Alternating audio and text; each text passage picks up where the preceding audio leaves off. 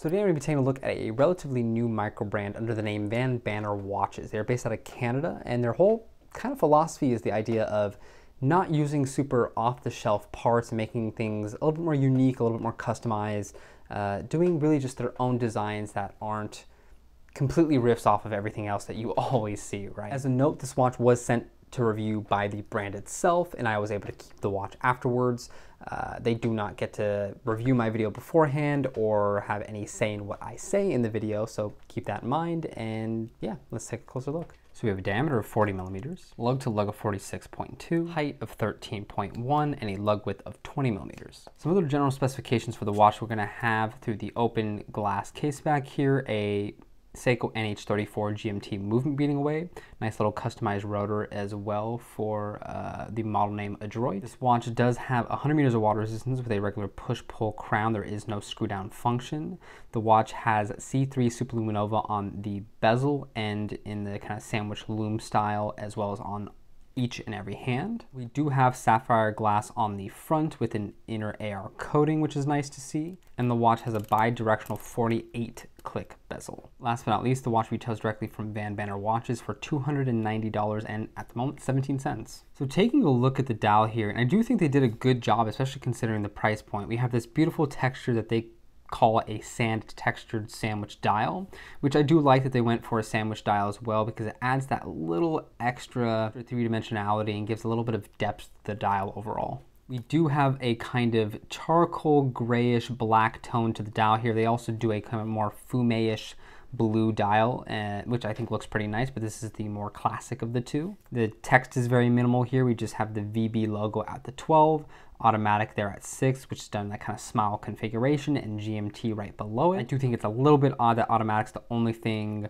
one in that smile configuration and two in more cursive type script. You see we have a pretty kind of unique handset in my opinion. These are a, I guess you can say modified pencil style. Very thick there for the hour hand, much thinner for the minutes, which is nice for differentiation between the two. They are also done in a style or finish that I haven't seen before. It's almost like a gray PVD or gray coating, not quite brushed, more of a metallic leaning feel. It does, I think, make the hands almost blend away into the dial at point, so maybe hinders legibility a little bit, but I do like that almost industrial look it gives to the watch. One thing to note too, and it might be hard to catch on camera, but the crystal here has a little bit of a chamfer and cut down edge to it, which you can tell, but because of that, it has this very unique effect on the outside of the seconds track. If you kind of angle, you can see it's a fairly large seconds track that is pretty prominent overall, but when you look at the watch dead on, it really fades away and becomes much more gentle and much more uh, almost elegant in its execution because a lot of that is cut away from that chamfer in the crystal. It's a super unique detail that I haven't seen many other watches do before, and I like how it's executed there. It's almost one of those things where when you move it around, you see more detail, uh, but what's nice is on direct viewing, it's very uh, put together looking, I guess you could say. One thing to note, and I do think this is something they can improve on in the future, they do use C3 Superluminova, as I mentioned. Because of that, it has this very greenish, almost taupish leaning lume signature, which I think one stands out, of course, against the more dark black dial, but also stands out very much against all the pure white text that is used on the dial itself. I don't think the tone that looks particularly premium. I think if they just went with a pure white lume, it would look better. Uh, but if that doesn't bother you, it still is well done, especially in the sandwich configuration, and it glows very well. To note, this is a desk GMT, so when you pull the crown all the way out, of course, you're moving all hands in sync together. When you push the crown in, if you go out to the first position, you are jumping the date, moving uh, towards yourself, and if going away from yourself, you are moving the GMT hand. I do think this is one of the better uses of the GMT, very convenient. I like the way you can set both the date and the GMT very easily, and frankly, because it ends up being cheaper as a desk GMT, I also like that aspect. You can see we have mainly square hour markers, these more pointed ones at 369 and a larger kind of fatter almost blend between the square and the pointed marker at 12. I think if they would have made these square hour markers rectangular, it would have blended in overall a little bit better, or vice versa. If they would have made these pointed hour markers a little bit thinner or a little bit smaller in length, it would have felt a little bit more cohesive. But as it stands, I think it's a cool dial. It's different and it's not a blend of markers I've seen before. Zooming in on the dial, and we can see there's a lot of detail that comes to life. One of the main things that I notice is the fact that every hour marker has this kind of uh, blackened border to it, which gives a little bit more contrast, gives a little bit of depth, but it also leads down from the base style into the marker at a little bit of a slant. So it's very nice. It's a cool detail that you don't see very often. Definitely uh, attention to detail, which is awesome to see. You of course also notice this more, uh, rough is not the right word, but kind of leather grained, igneous type rock feel uh, to the base dial texture itself. Again, they call it a uh, sand texture. It is interesting and thankfully has a lot of life even from wrist view. Nice to see the text at six o'clock and even down to the seconds track is all done in this same quality of printing on a tiny little base black uh, platform that has this white print on top of it. It looks good, it looks premium, it doesn't get lost in the texture of the dial, which is important. Looking very hard for QC issues, there's not many. You can see there's a tiny little black speck there on the six o'clock marker lume infill and then I believe there's a little bit there on the edge of the 12 as well. But other than that, it's a really well finished watch. The lume infill looks very, very smooth, much smoother than you would see with almost any watch. The hands themselves, again, done in this coating I'm not quite sure of, but done quite smoothly. It looks pretty much unblemished and there's not really any scratches or marks or bubbling that shouldn't be there. The painting of the seconds hand is done similarly well and similarly nicely. And even down to the GMT hand, it is done well between the border of the white paint and the red paint. The lume infill still is done on the hands almost just as well as the uh, markers, which is rare to see. And I think it is just a watch that holds up under macro, which is rare to see, especially at the price points coming at of sub $300. And something I didn't mention is, of course, we do have the offset date window there. What is nice is it's color matched. It does have the same date framing as the rest of the hour markers. So it doesn't look too out of place, but of course it is there. At the end of the day, I probably would have forgone it, but it doesn't honestly draw my attention too much, especially because it blends into the dial. Taking a look at natural light, we can see the dial definitely comes out in direct sunlight. You do see the pattern very clearly and very present on the watch, absolutely. Uh, you do get a little bit of glare from the crystal, even though it does have under AR coating. I do think they should just probably add a couple more layers. What is nice though is you do get a lot of light play from that bezel there, which is I think looking pretty nice. In the shade, that light play goes away a little bit. It's a little bit more dramatic at uh, extreme angles, so you kind of have to turn the watch more to be able to see that.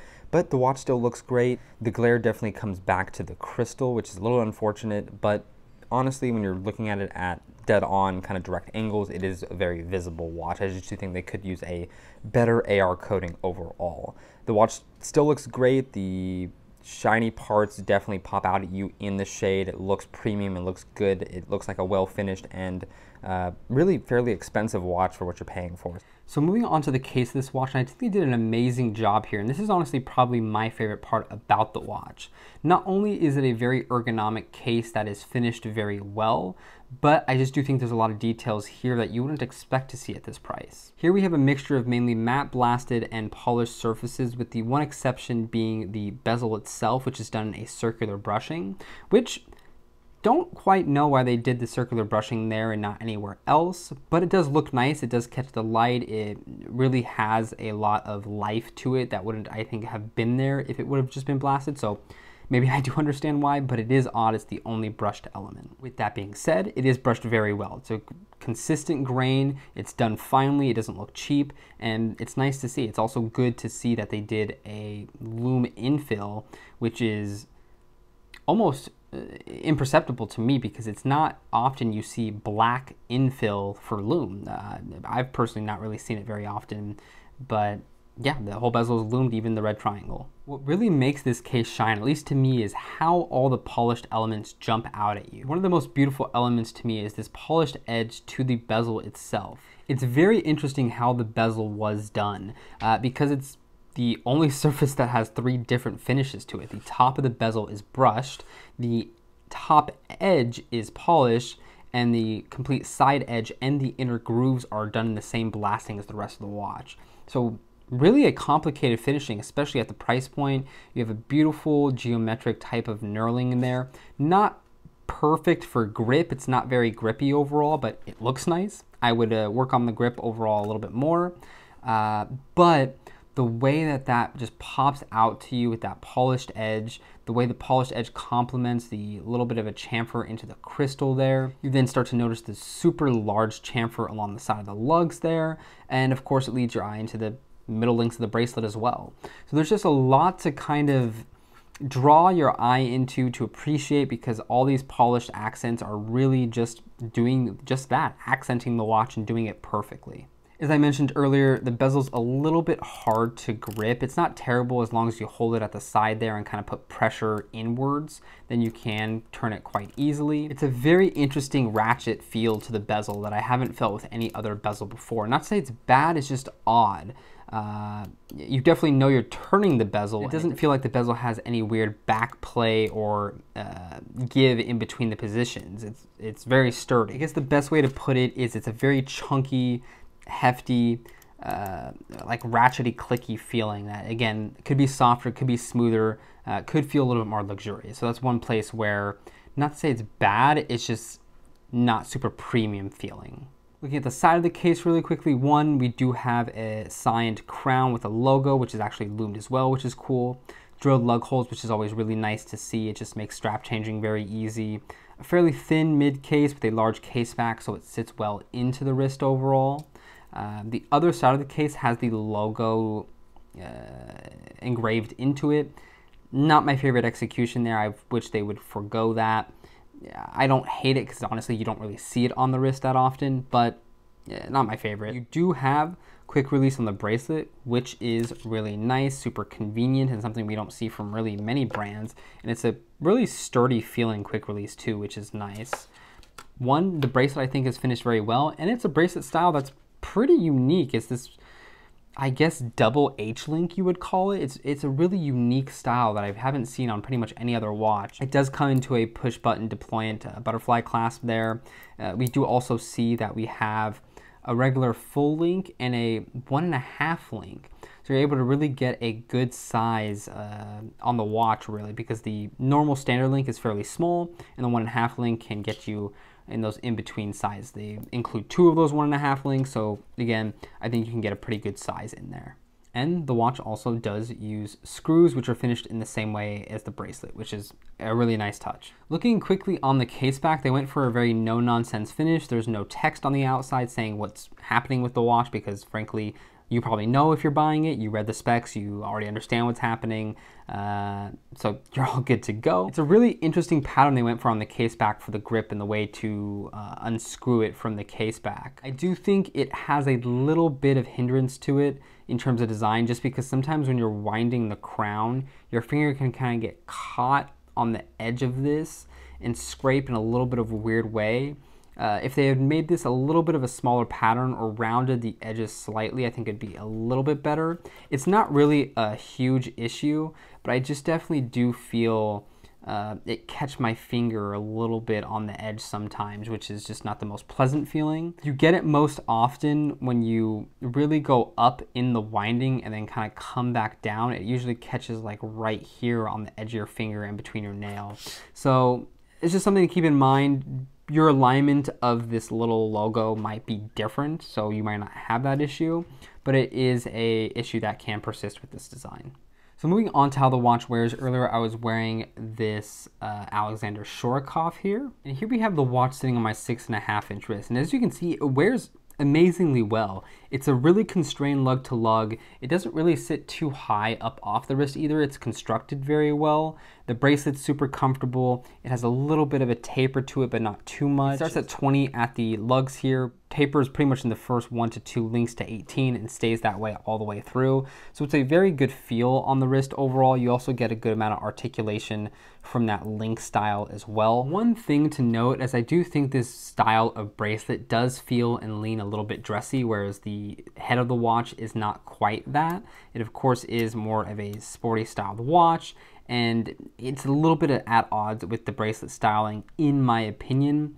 I do think if they would have done that full blasting effect to the mid links and then just maybe did a polished chamfer, it would have tied into the design a little bit better, but it's serviceable as is and is a very comfortable bracelet. Taking a look at the side view, as you can see, the watch sits very well on the wrist. It sits and sinks really right in. So it effectively feels very small for a GMT movement, very compact wearing for a sports watch that has 100 meters of water resistance. And I do think they did a really good job uh, on the ergonomics and the feel of this watch in general.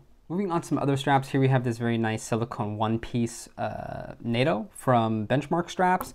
Super comfortable, obviously sports it out a little bit more, all black on black. Uh, super thin, so it doesn't really add any height to the watch, which is nice. I think it suits the watch very well. Definitely makes the red tones pop out a lot more, which I think is good. Uh, something to also note, and I haven't mentioned it yet, is this is one of the very few GMTs you could use to track three time zones if you really wanted to you would have the GMT hand pointing to one time zone, of course the local hour hand set, and then the GMT hand set to somewhere else, whereas like for this example, it is set to plus six. So now you're basing it off of something else. Uh, is anyone really going to use it for that? I don't think so, but it is a cool functionality. For something a little bit more funky and different, we have this woven style leather strap from Tuns. I think it adds a little bit more of a rugged feel to the watch. Definitely, I think fits the aesthetic. The brown I think naturally just fits with the tones of the watch as well. I think it looks good. Won't be for everyone. I don't think this watch is perfectly suited to most leathers, but I do think this is a unique combination. The stitching, I think, ties into the style of the markers as well. And yeah, I think it's a pretty cool combo. And lastly, we have a very generic FKM rubber strap. This is a very nice deep dark green. What is good is when you have the C3 green leading lume, it plays very well off of green tones. So any shade of green that you put on this watch will work and will, I think, draw your eye away from the green tones from the lume a little bit more, or at least make them feel a little more cohesive because now there's other greens to pull from a little bit of a Christmassy combo with the greens and reds that are going on on this watch, but it's a very comfortable strap because of course the rubber, it conforms very well, and I think pairs with the watch and the style of the watch nicely. So taking a look at the lume here, and this is another area where I think the watch did a pretty good job. Everything on the watch is lumed and it's very readable in the dark. The entire bezel is lumed, although not as bright as any other element there. So although a fun aspect, not super necessary, but the hands and the dial are lumed very well. Of course, you have that sandwich style, which lends to giving a lot of area to be able to lume. I will say it dies a little quicker than I would have expected, but uh, I guess dies relative. It just dims a little quicker than I would expect, but it does last for quite a bit. You would absolutely tell where the seconds hand is. You can tell where the GMT hand is. The hands themselves, the hour and the minute, are a little bit brighter than the rest of the markers themselves. But as it stands, they did a really good job on the lume. Looming it up and comparing to the classic Timex, you can see on initial quote unquote lumage, I would argue that they are just as legible as each other. So really there is no downfall to the VanBanner based off the lume that they put onto the watch. I think they did a good job. Could they add a couple more layers? Sure, why not? But I think for the price, it's completely acceptable and if not better than most watches you would expect. So pros and cons of this watch, and one of the biggest pros for me is just going to be the construction overall. The watch is just undoubtedly well made. You have a good amount of water resistance, you have very solid finishing in terms of the way the accent polishing is used, the way that you have elements like a chamfered crystal that you wouldn't have expected to see here. Uh, and just again, the overall feel of the watch is solid and good, especially considering the price point. Usually, at least in my case and from my experience, more affordable brands go for simpler, less ornate cases because it's more affordable to do. Whereas here what we see is the case has not been ignored at all. Another big pro for me is I think this is awesome value. At just under $300, you're getting a GMT movement, a very solid watch, uh, good bracelet, good construction, 100 meters of water resistance. It genuinely is, I think, a very interesting watch for the price point as long as you like the aesthetic. I don't think it's going to be an aesthetic for everybody, but I think there's a lot here to like, especially considering uh, if you're trying to, in a sense, check boxes. It has sapphire, it has a cool texture to the dial, it has a complication to it, it has enough water resistance. It does do a lot of good stuff here, and I think that should be appreciated. So moving on to cons, one of the bigger ones for me is going to be the bezel. The action to it is just very odd. It's not a feeling I've felt before. It, to me, doesn't feel refined. It feels uh, a little bit more crude in a sense which is odd to say because it's a very defined click on each position. It just doesn't feel um, overly elegant getting there. I do think they can do things to make that a smoother experience. Honestly, if you had a bidirectional friction fit bezel, I would have preferred that uh, more here. Not to say it would have blended well with the rest of the design or the ethos of the design, but I still would have liked it. Of course, as with most watches that use C3 Luminova that has a little bit of a green tint to it, that is also going to be a con for me. I don't like introducing color tones on the watch that don't feel like they're meant to be there. If there was any other green element on the watch, sure. Uh, use C3 to your heart's content. But I just do think on average, using a white toned lume tends to be much more cohesive in design for the rest of the watch. It tends to look better. It, it contrasts more against the dial and makes the markers stand out more.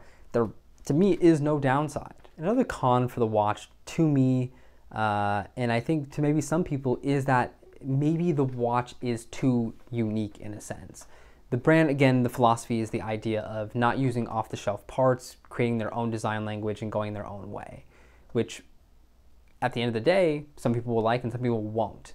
I can't tell you whether or not this aesthetic will appeal to you or not, but I don't think it's a crowd pleasing design. There are things about it which feel a little bit too uh, brutalist in, in, in, design nature, I think. But then there's also things that don't feel in harmony with each other, like the bracelet is a dressy and elegant styling on a what you would I think call a rather sporty watch overall.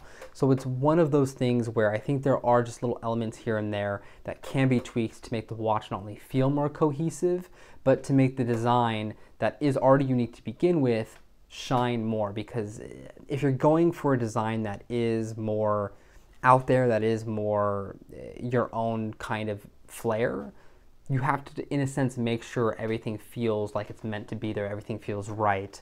And I know that takes time. It takes time to decide what that DNA of the brand is and how to accomplish it well and what you like and don't like to see on your watch in a sense. I don't doubt that the brand will continue to iterate and hopefully the watch will feel more and more cohesive within itself going forward. But final thoughts, and I actually do really like the watch. On first kind of glance aesthetic, it's not a watch that I personally love, mainly because I'm not a huge sports watch guy, and this is a very sporty leaning GMT execution. With that being said, what draws me to the watch is how well done the rest of the elements are. The bracelet is very comfortable on wrist. The case shape is amazingly done and wears well. That is absolutely a case platform and profile they can use in other watches and other designs and do very well with it. If you use a thinner hand wound movement or something like that, that can easily be a dressy styled case. Uh, and it's nice to have a case like that that has versatility and doesn't feel at odds being in a sports watch and in a dress watch. I think the construction is much better than you would expect at this price point. It definitely punches more up to that like five, six hundred dollar range and uh, plays more with brands like Nodus and Traska. And uh, having owned a lot of those pieces, I can say that confidently. It feels like a well built watch, absolutely. Again, there's things that can be improved but at the end of the day, no watch is perfect. This watch is no exception to that. But if you do like the specs, if you do like what it's offering, there's a lot to love here for sure. As a side note, this watch will be given away in my Patreon group for free. Uh, the whole idea of the group is just to get a little bit of a community together of watch nerds that like to talk watches and other stuff. The dues will completely be used for giveaways and buying watches or straps or whatnot, whatever the group decides to use the funds on. So overall, I am not accessing the funds anyway, other than maybe potentially reviewing a piece that is purchased before giving it away, if I have the permission to. But yeah, if you're interested in this watch and interested in getting it for free after a Patreon subscription, then join. We'll have the link down below. And yeah, that's all for me. Thank you as always for watching the video. Hope you got something out of it, and I'll see you in another one.